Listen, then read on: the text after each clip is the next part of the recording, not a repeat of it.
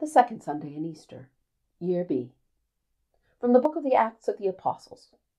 Now the whole group of those who believed were of one heart and soul, and no one claimed private ownership of any possessions, but everything they owned was held in common.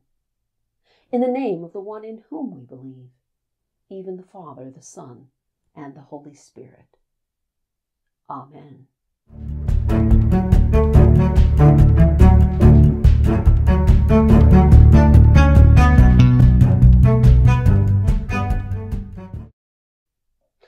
Readings for today bring together ideas about families and sharing and consolation and covering.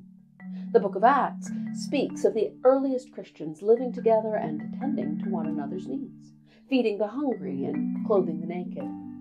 Our psalm likewise speaks of kindred living together in unity as a blessing akin to the anointing of priests. The priest offers the sacrifice of prayer on behalf of the people asking for God to supply what they need and to atone for, the Hebrew word literally means to cover over, what the people have done amiss. Living together in unity as kindred, we seek to supply mutual needs and to forgive, to cover over mutual harm, not in the sense of sweeping under a rug, but in the sense of offering a covering protection.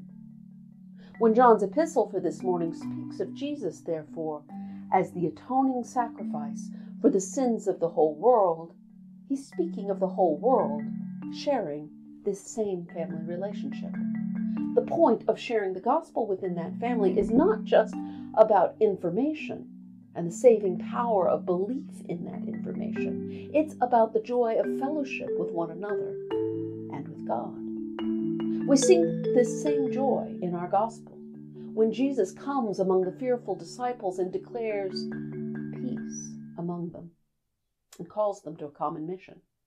Within that fellowship, we cover one another, not as a matter of cover up, pretending that sin does not exist, but of showing our wounds as Jesus shows his to us.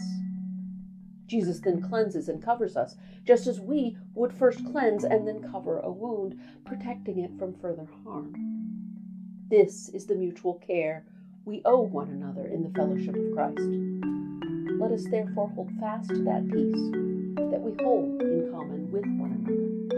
In the name of the Father, and of the Son, and of the Holy Spirit.